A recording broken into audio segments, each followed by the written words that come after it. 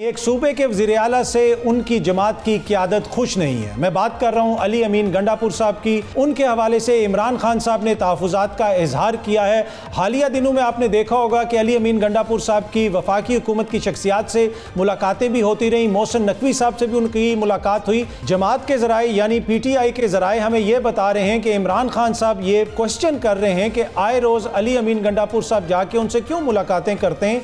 जब मैं वज़ीर अजम था तो मुराद अली शाह साहब कितनी बार मुझसे मिलने आए, कितनी दफ़ा मुराद अली शाह साहब ने मेरे वज़रा के साथ बैठ के प्रेस कॉन्फ्रेंसेस की, कितनी दफ़ा मुराद अली शाह साहब ने मेरे ऊपर तनकीद की। हाँ आप प्रोफेशनल कैपेसिटी में आप ज़रूर मिलते हैं, लेकिन जिस किस्म का सिलसिला अली अमीन गंडापुर साहब ने शुरू किया हुआ है, उसके ऊपर इमरान खान साहब नाखुश हैं और खसूस मोहसन नकवी साहब के हवाले से इमरान खान साहब ने मुतद बार तहफ़ात का इजहार किया है। आपने सुना कि उस क्लिप में अली अमीन गंडापुर साहब ये कह रहे हैं कि जी, मुझे तो पता ही नहीं चला कि मैं किस तरीके से मोहसन नकवी से गले मिल गया, लेकिन उसके बाद भी वो मिले हैं और ये सामने आपको स्क्रीन पर नज़र भी आ रहा है। दोबारा फिर वो गले मिले, उनके साथ बैठ के उन्होंने एक तरह से प्रेस कॉन्फ्रेंस भी की। अली अमीन गंडापुर साहब के हवाले से जो दूसरी शिकायत ये है कि उनको सूबे में इसलिए वजी अला बनाया गया था कि वो पार्टी का मौकफ जारियाना रखेंगे। वो मौकफ तो रख रहे हैं जारियाना, लेकिन उसको फॉलो थ्रू नहीं करते।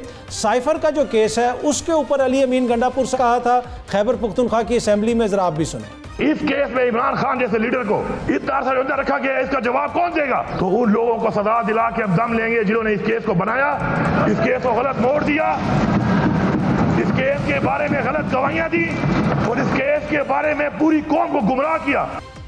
जी, आपने सुना कि अली अमीन गंडापुर साहब कह रहे हैं कि जिन लोगों ने साइफर का झूठा केस बनाया, उनके खिलाफ कार्रवाई होगी, उनके खिलाफ हम केसेस बनाएँगे, लेकिन इशू ये है कि इस वक्त सूबे के अंदर बहुत सारे ऐसे केसेस हैं जो पाकिस्तान तहरीक इंसाफ की क्यादत के ऊपर और वर्कर्स के ऊपर दर्ज हैं, उनको ख़त्म करने के लिए अली अमीन गंडापुर साहब ने एक डेडलाइन दी थी और कहा था कि एक हफ़्ते में ये सारे केसेस ख़त्म करवा दूँगा, लेकिन ऐसा हो नहीं सका। क्या कहा था?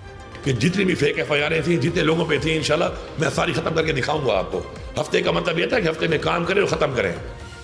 जी, आपने सुना कि उन्होंने कहा कि मैंने एक हफ़्ते का कहा था सिर्फ़ एक हफ़्ते का इस मौके पे उन्होंने नहीं कहा। मुतद मौक़ों के ऊपर उन्होंने मुख्तलिफ़ डेडलाइंस दी। जब से वो वजी अला बने हैं, आए रोज़ वो कोई ना कोई नई डेडलाइन देते हैं, लेकिन उस डेडलाइन के ऊपर अमल दरामद नहीं होता। उनकी जो मुख्तफ धमकियाँ और डेडलाइंस हैं, उनके हवाले से हमने ये क्लिप तैयार की है ज़रा इसको सुनिए फिर हम गुफ्तु के सिलसिले को आगे बढ़ाते हैं।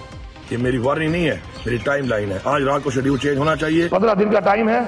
इस टाइम मेरे साथ बैठो मसले को हल करो। खाली कदा यो बटन में बंद को नीम पाकिस्तान में बंदी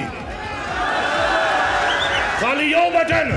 जी, आपने सुना कि अली अमीन गंडापुर साहब ने हर किसी को वार्निंग दे दी। पंजाब की हुकूमत को भी, वफाक की हुकूमत को भी, एक बटन बंद करने का भी कह दिया। लेकिन अमली तौर पे उन्होंने सूबे के अंदर क्या किया है? ये वो सवाल है जो इस वक्त इमरान खान साहब उठा रहे हैं। जमात की सीनियर क्यादत उठा रही है। जिस तरह मैंने पहले भी अर्ज़ किया कि जमात के अंदर से मुख्तफ सोर्सेज ने, मुख्तलिफ़ ज़राए ने हमें ये बात बताई है कि इमरान खान साहब ने अली अमीन गंडापुर साहब के हवाले से तहफ़ात का इजहार किया है। वो ये कह रहे हैं कि आप वफाक को धमकियाँ देना बंद करें, सूबों को धमकियाँ देना बंद करें।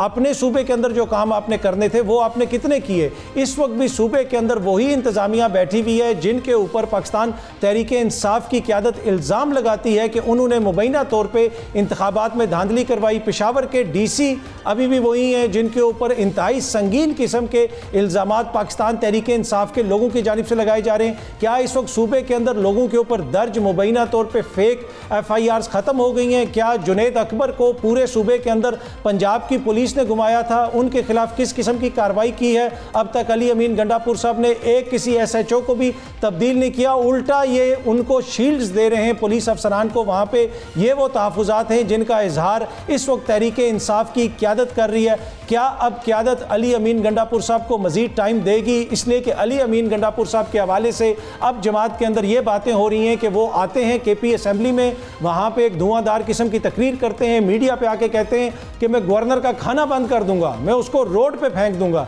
लेकिन अपने वर्कर के लिए, अपनी जमात के लिए जो टास्क उनको इमरान खान ने दिया है, उस टास्क को कंप्लीट करने में अली अमीन गंडापुर साहब बुरे तरीके से फेल हो चुके हैं। इसी वजह से उनके ऊपर बार बार ये क्वेश्चंस उठ रहे हैं। अब देखते हैं कि उनकी जमात क्या फ़ैसला करती है। अली अमीन गंडापुर साहब आगे खुद क्या करते हैं, उनकी कारकर्दगी जो है, वो आने वाले दिनों में ही मज़ीद वाज होगी।